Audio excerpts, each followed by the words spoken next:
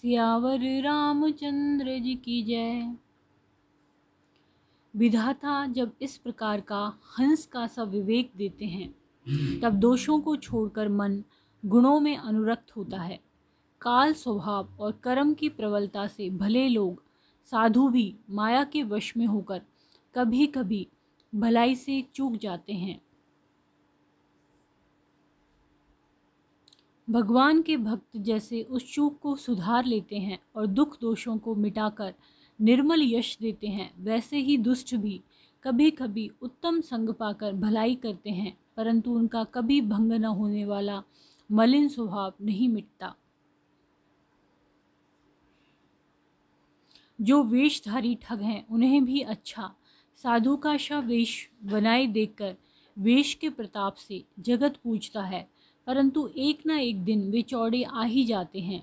अंत तक उनका कपट नहीं निपटा जैसे कालनेमी, रावण और राहु का हाल हुआ। बुरा वेश बना लेने पर भी साधु का सम्मान ही होता है, जैसे जगत में जामबान और हनुमान जी का हुआ। बुरे संग से हानि और अच्छे संग से लाभ होता है। यह बात लोक और वेद में है और सभी लोग इसको जानते हैं। पवन के संग से धूल आकाश पर चढ़ जाती है और वही नीच नीचे की ओर बहने वाले जल के संग से कीचड़ में मिल जाती है। साधु के घर के तोता मैना राम राम सुमरते हैं और असाधु के घर के तोता मैना गिन गिन कर गालियाँ देते हैं।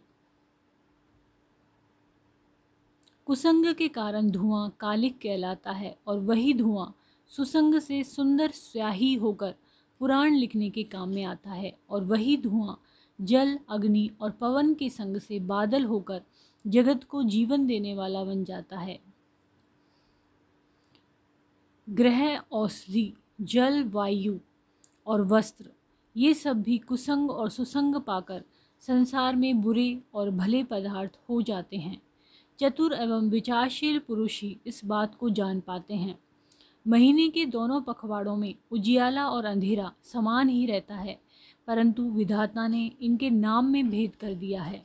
एक का नाम शुक्ल और दूसरे का नाम कृष्ण रख दिया।